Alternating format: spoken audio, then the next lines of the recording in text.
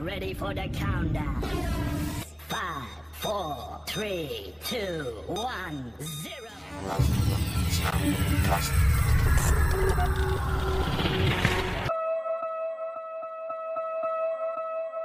Swear I won't forget this. Why do I regret? Assalamualaikum warahmatullahi wabarakatuh Balik lagi di channel Intimas Motor Semoga kalian semua sehat selalu dan diberkati Allah Subhanahu wa taala. Oke, di sini saya mau kasih tutorial tentang cara pemasangan GPS the tracker di motor NMAX 155 ini. Untuk pembelian ini kita bisa beli melalui online banyak yang jual juga Hmm. nah kita mau terapin di motor NMAX ini nah sebelum lanjut tolong dinyalakan dulu lonceng notifikasi di bawah ini biar nggak ketinggalan update terbaru oke Oke guys, ini hanya sebuah gambaran saja karena semuanya rangkaiannya sudah saya sambung menggunakan timah solder. Nah, yang penasaran kok bisa nempel si timah ini ke kabel. Nah, saya membuat cairannya sendiri. Apabila ada yang penasaran, boleh di komen aja. Nanti next video saya akan buat cairan untuk penyambung kabel. Karena saya nggak rekomendasi penyambungan kabel dilangsungin tembaganya langsung ya. Jadi saya menggunakan timah solder ini. Oke, langsung ke tahap penyambungan kabelnya. Ini kita siapin dulu si relay kaki limanya. Nah, untuk kabel yang berwarna kuning ini kita masuk ke kabel kuning yang kecil menuju ke adaptor GPS-nya ya. Nah, ini kuning masuk ke kuning. Terus untuk yang kabel warna putihnya ini yang dari relay kita masuk ke kabel body yang berwarna biru strip hitamnya. Nah, nah ini belum sempurna nanti ini hanya rangkaian nanti juga mau disolder yang ini. Juga ini mau dipakein sikring biar buat pengamannya ya di sini nanti kita pakai sikring. Nah, terus untuk kabel yang berwarna hijau dari relaynya ini kita menuju ke kabel switch standar satu ya. Nah, ini kita potong dua kabel standar satunya. Yang kabelnya yang berwarna biru strip kuning ini kita potong dua jadi hijau yang satu masuk ke depan yang satu lagi masuk ke belakang ya hijaunya ini yang depan masuk ke switch standar satu biru strip kuning kabel yang ini yang tiganya lagi warna merah, hitam dan oranye. Yang hitamnya ini kita masuk ke masa ya. Hitam ini kita masuk ke masa. Kalau kabel body masa hitam.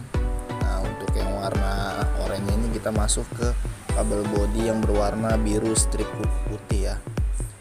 Nah untuk yang satunya lagi berwarna merah. Merah ini kita masuk ke kabel body berwarna biru strip hitam ya jadi kayak gitu aja sekilas sekilas rangkaiannya cukup simpel. Nah jadi nanti kalau udah ini dirapihin kabelnya ini hanya untuk gambarannya saja ya.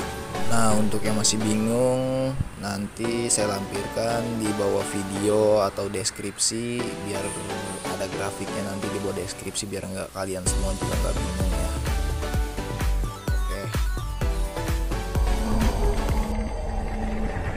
Oke, setelah ini udah dipasang, kabel-kabelnya semua udah dirapin, bisa dilihat dulu kabelnya. Kabel udah, dira- udah dirapihin, udah disolasi. Nanti ini tinggal disesuaikan aja mau ditaruh di mana GPS-nya. Nah, untuk ini untuk yang aktif sekarang ini, nah Nah oke sekarang kita ma- mau lihat motornya posisinya ada di mana. Sekarang kita pencet aja playback. Terus today ini untuk hari ini kita pencet aja oke kita mau lihat hari ini motornya ke mana aja. Nah ini kita besarkan. Nah terus titik motornya ini ada di gambar merah ini ada tulisannya right right itu posisi motor sekarang adanya di sini. Tracknya ini yang berwarna hijau tracknya untuk yang bacaan warna merah ini Pak P itu namanya parkir dia terakhir berhenti motornya di mana. Nah ini ada tandanya parkir. Nah kayak gini untuk lebih akurat sih sebenarnya ini bener-bener presisi sekarang banget. kita mau coba matiin motornya. Nah, ini GPS-nya udah connect, sekarang kita mau hidupin dulu motornya. Oke, kalau udah hidup kita pencet. Ini ya tanda titik tiga di atas terus kita close. Terus ini kita kita pencet ini wah wow. Ini kita pasportnya kita ikutin kita ikutin dulu.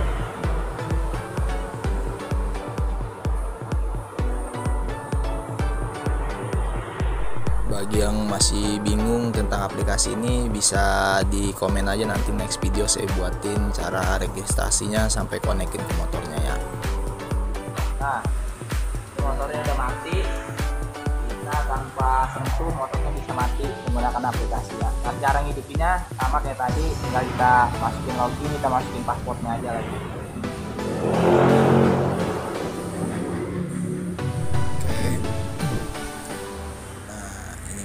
Nah nah oke motornya sekarang hidupin nah motornya udah hidup oke?